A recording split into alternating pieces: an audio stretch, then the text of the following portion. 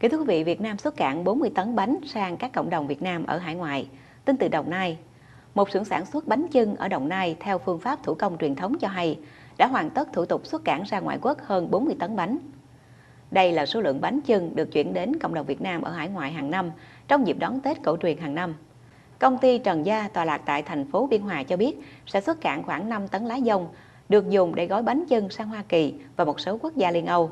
Chưa hết, công ty này còn cung cấp khoảng 150 tấn bánh chưng và bánh Tết cho hệ thống siêu thị lớn như Metro, Bixi, Coopmart, Vinatex và Maximart ở Việt Nam.